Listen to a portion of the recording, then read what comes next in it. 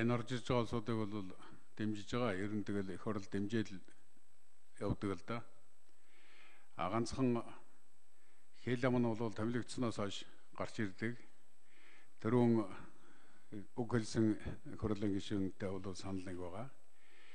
Энэ олон улс дахь одоо Монголын нэр хүнд бол зайнгүй байна. Энэ нэр хүндийг одоо авч явах хэвээр хариуцлагатай байх хэвээр хуулийн дагуу ажиллах хэвээр энэ гадаадад ажиллаж амьдарч байгаа зорчиж байгаа иргэдийнхээ эрх ашгийг хамгаалах хэвээр ийм хүмүүсүүд маань бол одоо энэ дипломат гэд нэрлэгдээд байгаа энэ гадаадад сууж байгаа энэ хүмүүсүүд та нөхдүүд маань шүү. Харамсалтай нь бол ингэж чадахгүй байгаа. Тийм учраас энийг одоо онцгой анхаарах шаардлагатай шүү гэдгийг би нэгдүгээрт хэлье.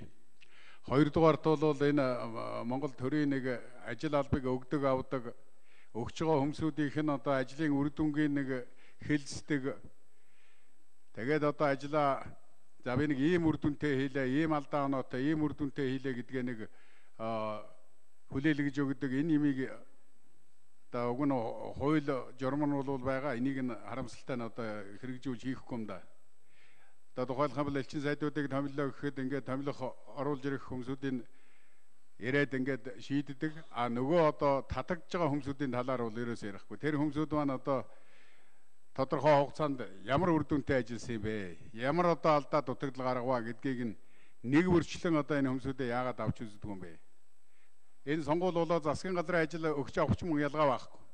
Би 12 оны сонгуулийн дараа би хэлж илээсэн. Энэ засгийн газрын сайдууд одоо бүгдээрээ сууж агаад энэ засгийн эрхийг одоо шилжүүлж байгаа бол бид нар яг ийм үр дүнтэй одоо засгийн газрын хүлээлгэл өглөө шүү гэдэг салбар болгоноор одоо сайдууд ингээ яагаад хэлээд өгч болдгоо юм бэ гэж. Тэгээд бол огт тоохгүй байж байгаа л өгөөл явуулсан 16 оны одоо сонгуулийн өмнөхөд улс орны эдийн засаг салбар үрээрээ ямар хэмжээнд хүрсэн бэлээ. Тэгээд тэр чинь одоо нэг үнэлгээтэй байх хэрэгтэй шүү дээ. Хөрсөн үрдэн байвал өрсөн үрдэн байна алдсан дутагдсан ийм байвал тэр нь одоо тодорхой харагдаж явах хэвээр би ингэж хэлэх гээд байна л да. Тэгээ энэ дээр бол одоо би энэ Батлан болгон сайдаар ажиллаж байхад Оросын холбооны улсад хуучин одоо Оросын холбооны улстай энэ Батлан болгон цэргийн салбарт харьцажсэн энэ харилцааг одоо сэргийх чиглэлээр бол бид нэлээд одоо идэвхтэй ажилласан. Тэнд бол одоо элчин сайдаар ажиллаж исэн дэлгэрмаа бол маш их одоо идэвхтэй санаачлагтай ажилласан. Өнөөдөр одоо энэ томилогдох гэж байгаа даваа генералны хөр бол одоо бид хамтдаа явж одоо энэ ажлыг хийж ийсэн. Одоо би өөрөө мэдх хэмиг л жишээ би хэлж шít.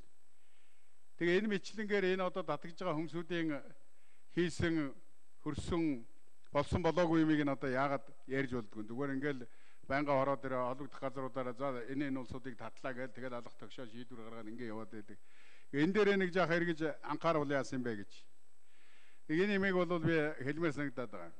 За тэгээд дараагийнх нь ээлжинд бол одоо энэ олон жилийн одоо түүхэн харилцаатай энэ Куб улсад одоо хүн суух гэж байна. Би бол энэ их хуралд ажилласан жилүүдэд энэ Куб Монголын парламентын бүлгийг ахалаад ингээ бид нар бол одоо бүхий л талаар ажилдаг.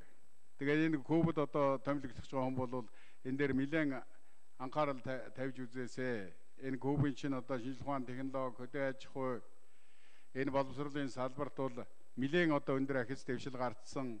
Тэгээд одоо уламжилт энэ харилцаагаараа биднэрт бол болцооно хэмжээгээр одоо тусалдаг